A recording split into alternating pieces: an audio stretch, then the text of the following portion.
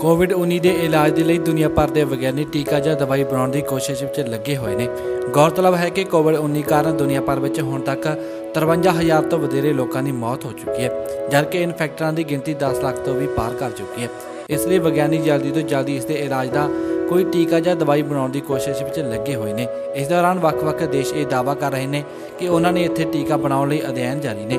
ਇਸ ਵਿੱਚ ਅਮਰੀਕੀ ਵਿਗਿਆਨੀਆਂ ਨੇ ਦਾਅਵਾ ਕੀਤਾ ਹੈ ਕਿ ਉਹਨਾਂ ਦੇ ਬਣਾਏ ਟੀਕੇ ਨੇ ਉਸ ਪੱਧਰ ਦੀ ਤਾਕਤ ਹਾਸਲ ਕਰ ਲਈ ਹੈ, ਜਿਸ ਨਾਲ ਕਰੋਨਾ ਵਾਇਰਸ ਦੇ ਇਨਫੈਕਸ਼ਨ ਨੂੰ ਮਜ਼ਬੂਤੀ ਦੇ ਨਾਲ ਰੋਕਿਆ ਜਾ ਸਕਦਾ ਹੈ। University of Pittsburgh school of medicine ਦੇ ਵਿਗਿਆਨੀਆਂ ਨੇ ਕਿਹਾ ਹੈ ਕਿ ਉਹ ਬਾਕੀ ਦੇਸ਼ਾਂ ਦੀ ਤੁਲਨਾ ਵਿੱਚ ਬਹੁਤ ਜਲਦੀ ਕੋਵਿਡ-19 ਦੇ ਇਲਾਜ ਦਾ ਟੀਕਾ ਵਿਕਸਿਤ ਕਰ ਚੁੱਕੇ ਨੇ। ਇਸ ਯੂਨੀਵਰਸਿਟੀ ਦੇ ਵਿਗਿਆਨੀਆਂ ਨੇ ਜਿਹੜਾ ਟੀਕਾ ਬਣਾਇਆ ਹੈ, ਉਸ ਲਈ ਇਹਨਾਂ ਲੋਕਾਂ ਨੇ ਸਾਰਸ ਅਤੇ ਮਰਸ ਦੇ ਕਰੋਨਾ ਵਾਇਰਸ ਨੂੰ ਆਧਾਰ ਬਣਾਇਆ ਸੀ।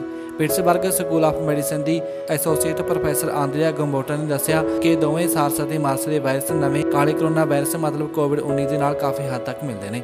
ਇਸ ਨਾਲ ਸਾਨੂੰ ਇਹ ਸਿੱਖਣ ਨੂੰ ਮਿਲਿਆ ਹੈ ਕਿ ਇਹਨਾਂ ਤਿੰਨਾਂ ਦੇ ਸਪਾਈਕ ਪ੍ਰੋਟੀਨ ਨੂੰ ਪਾਰ ਕਰਨਾ ਬਹੁਤ ਜ਼ਰੂਰੀ ਹੈ ਤਾਂ ਜੋ ਇਨਸਾਨਾਂ ਨੂੰ ਇਸ ਵਾਇਰਸ ਤੋਂ ਮੁਕਤੀ ਮਿਲ ਸਕੇ। ਪ੍ਰੋਫੈਸਰ ਆਂਦਰੀਆ ਗੰਬੋਟਾ ਨੇ ਕਿਹਾ ਕਿ ਅਸੀਂ ਇਹ ਪਤਾ ਕਰ ਲਿਆ ਹੈ ਕਿ ਵਾਇਰਸ ਨੂੰ ਕਿਵੇਂ ਮਾਰਨਾ ਹੈ, ਉਹ ਕਿਵੇਂ ਹਰਾਉਣਾ ਹੈ, ਅਸੀਂ ਇਹਨਾਂ ਟੀਕਿਆਂ ਨੂੰ ਚੂਹਿਆਂ ਤੇ ਅਜਮਾ ਕੇ ਦੇਖਿਆ ਹੈ ਅਤੇ ਇਸ ਦੇ ਨਤੀਜੇ ਬਹੁਤ ਹੀ ਪੋਜ਼ਿਟਿਵ ਮਿਲੇ ਨੇ।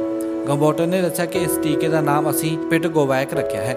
ਇਸ ਟੀਕੇ ਦੇ ਅਸਰ ਦੇ ਕਾਰਨ ਚੂਹਿਆਂ ਦੇ ਸਰੀਰ ਵਿੱਚ ਅਜਿਹੇ ਐਂਟੀਬਾਡੀਜ਼ ਪੈਦਾ ਹੋ ਗਏ ਨੇ, ਜੋ ਕਰੋਨਾ ਵਾਇਰਸ ਨੂੰ ਰੋਕਣ ਵਿੱਚ ਕਾਰਗਰ ਨੇ।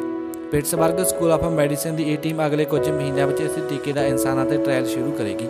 ਇਹ ਵੈਕਸੀਨ ਟੀਕੇ ਵਾਂਗ ਨਹੀਂ ਹੈ ਇਹ ਇੱਕ ਚੌਕੌਰ ਪੈਚ ਜਿਹੀ ਹੈ, ਜੋ ਸਰੀਰ ਦੇ ਕਿਸੇ ਵੀ ਜਗ੍ਹਾ ਤੇ ਚਿਪਕਾ ਦਿੱਤੀ ਜਾਂਦੀ ਹੈ।